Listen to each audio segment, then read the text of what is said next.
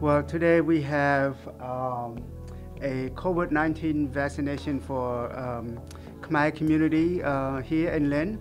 I'm really um, happy and appreciative for Element Care that allowed me to use this space today. Uh, one of the main questions as I uh, do my daily works, um, people come up to me and ask, um, they have difficulty uh, uh, do the pre-registered uh, online.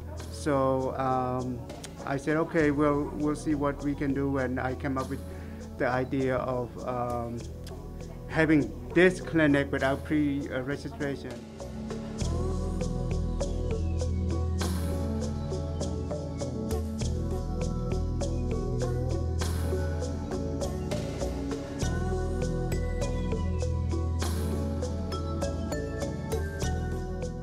Are to live together, we need to uh, understand and respect one another uh, culture and find ways to live uh, among each other peacefully and, and um, improve the city that we live together, which is the city of Lynn.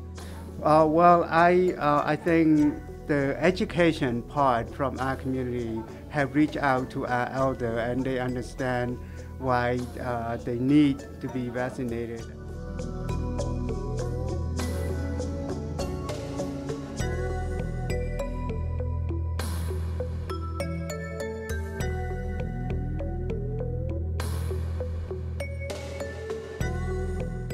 And the first one was, uh, we did it uh, last Saturday uh, at the Khmer Temple here in Lynn, and that was a um, testament to the leadership for the Kakrona um, Incorporation uh, Center.